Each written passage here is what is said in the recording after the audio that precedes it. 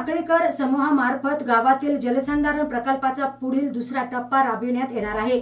यात अमरधाम व शौचालय प्रकल्पाचे नूतनीकरण करण्यात येणार आहे. असा संकल्प दिवाळी पाडवा स्नेह मेळाव्यात करण्यात आल्याची माहिती समूहाचे अध्यक्ष डॉक्टर बाळासाहेब बांडे यांनी दिली.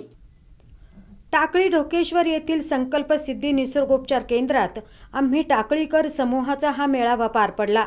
त्यावेळी ते बोलत होते. आम्ही टाकळीकर ग्रामविकास प्रतिष्ठानचे संस्थापक पत्रकार चांद शेख यांनी प्रास्ताविक केले.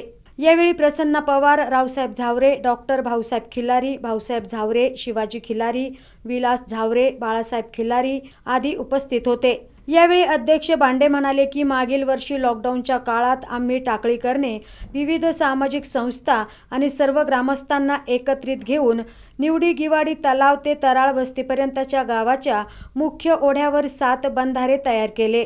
निसर्गाने साथ दिल्याने यावर्षी झालेल्या भरपूर पावसाने हे सर्व बंधारे तुडुंब भरून ओढा वाहत आहे. यावर्षी जलसंधारण कामाच्या दुसऱ्या टप्प्यात माथा ते पायता नदीजोड प्रकल्प आणि निवडुंगेवाडी तलावाची गळती रोखणे आदी कामे प्रामुख्याने केली जाणार आहे. Bureau report Maybhumi news Takali Parner.